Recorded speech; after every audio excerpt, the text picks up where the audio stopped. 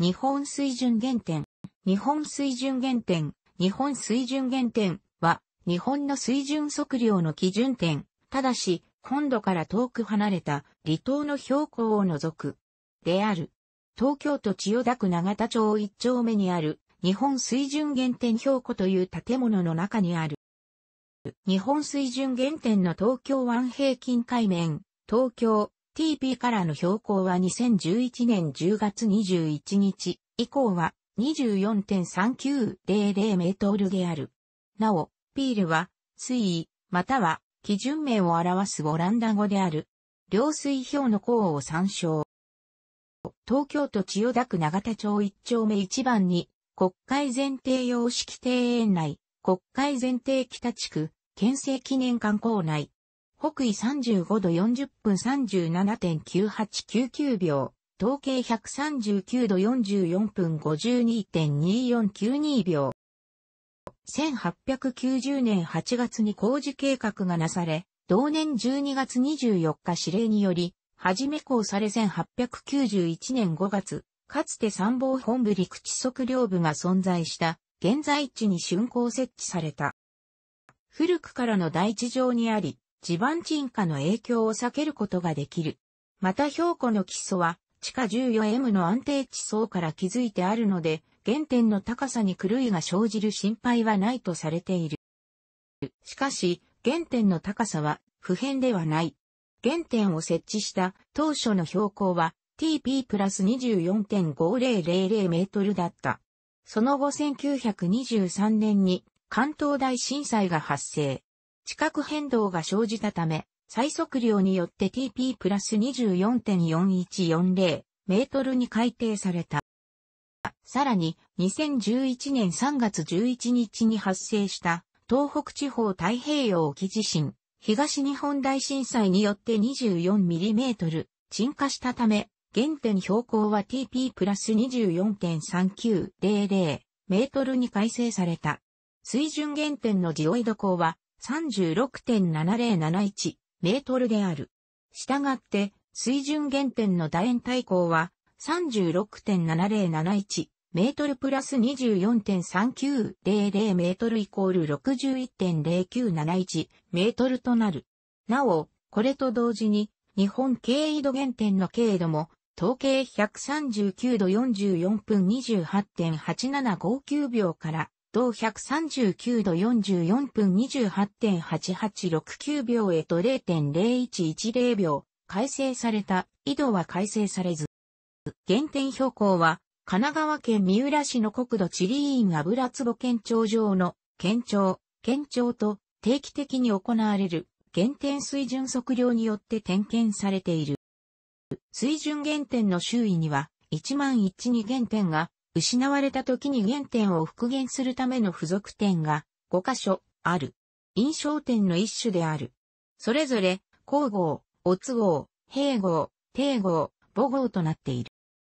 東京湾平均海面、東京 TP とは全国の標高の基準となる海水面の高さである。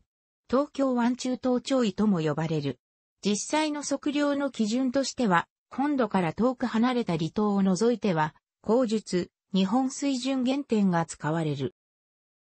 測量法では、平均海面の用語を用いているが、水路業務法では、平均水面の用語を用いていることに注意すべきである。水路業務法は、海面以外の湖や河川の水面についても適用があるため、水面を用いているのである。日本水準原点の最初の標高24.5000メートルの数値は1884年、霊岩島陵水表、現在の東京都中央区新川、当時の隅田川川口にあたる。における1873年6月から1879年12月までの毎日一時期結束ありの満館潮位を測定して平均値を算出し、量水表の読み、荒川工事基準面、荒川ピール、AP で1.1344メートルを東京湾平均、中東海面、TP、東京都市、この位置を0メートルとして全国の標高の基準と定めた。東京湾平均海面が定められるまでの水準測量は各地の主要河川の河口に、量水表と呼ばれる県庁場を設置し、その記録によって求めた平均潮位をもとに、地域ごとに基準を定めていた。その名残が、日本各地の河川、港湾における特殊基準面と言われているものである。本土から遠く離れた離島においては、日本水準原点からの高さを知ることが困難、水準原点と結合できないという。であるため、その離島における平均海面の高さが測量の基準になっている。例えば、沖縄本島の高さの基準は中条湾の平均海面である。2003年時点で高さの減点数値が定められている離島は次の37島である。佐渡島、飛島、淡島、伊豆大島、三宅島、沖島前、沖島後、奄美大島、沖縄島、宮古島、石垣島、奥尻島、与論島、機械島、伊平屋島、伊勢名島、家島、津堅島、阿国島、渡名喜島、久米、久高島、渡嘉敷島、座間見島、赤島、南大東島、伊良部島、多良間島、西表島、鳩間島、小浜島、黒島、波照間島、与那国島、福江島、種子島、津島。日本水準原点標高は、日本水準原点を保護するための建物である。原点は、日本水準原点標高の内部正面にある、喫下紋章をあしらった黒い蓋を外したところに存在する。5階、または混同されがちであるが、建物自体が水準原点であるわけではない。設計者は、佐立七次郎。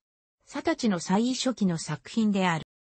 建物は、石像で、平家建て。建築面積は14.93メートルで、健康3.75メートル、総高4.3メートル、正面のプロポーションは、中楼とその上部のエンタブラチは、体上部とペディメント、三角妻壁のレリーフの装飾で得付けられる。石像による小規模な作品であるが、ローマ風神殿建築に倣い、通り屋式オーダー、配列形式を持つ本格的な様式建築で、明治期の数少ない近代洋風建築として、建築史上貴重なものでる。東京都指定有形文化財、建造物に指定されている。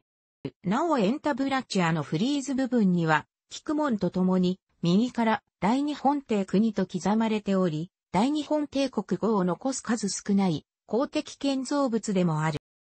1991年5月30日、日本水準原点の設置から100周年になるのを記念して、日本水準原点100周年記念切手が発行された。62円切手一種で発行枚数1600万枚。